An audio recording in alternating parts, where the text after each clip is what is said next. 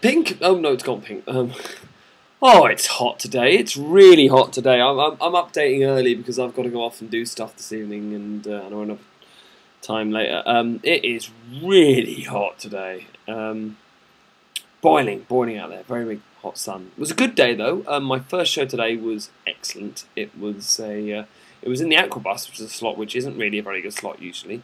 But um, it went brilliantly. I had this huge sort of group of sort of, of, of, young kids on a mission camp of all things, and they just gave me so much energy the whole way through, and uh, and and the hat was huge for, for the pitch. So.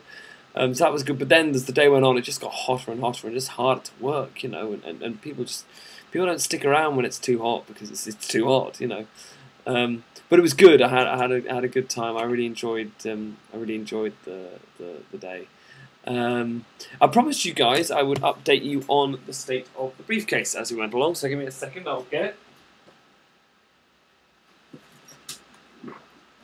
So as you can see, it's starting to fall apart a little bit. Um, the piece is just sort of left over from when I put the thing together, but the, the thing here at the top is starting to come apart properly. These are barely hanging together. Um, and there's a bit of a mess up over here if you can possibly see. It's still pretty much still just about a case though, it's just sort of hanging in there. That's a quarter of the way through the summer. I'll give you another update in about halfway through and you'll see that it's barely is hanging on and then by the end of the summer it will pretty much be more tape than case.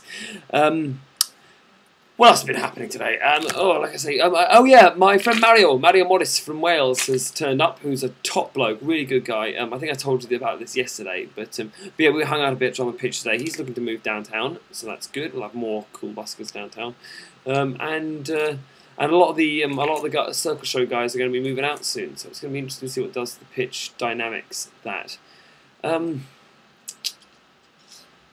I'm, I'm loving life here. I really am. It's it's so relaxed and so much fun and just feeling summer. I just wish it was a bit cooler. Um, but I think we've got some overshadow days coming up, and I'll probably climatise a bit more soon. But things get pretty hot when you're out there in a tailcoat. Let me tell you.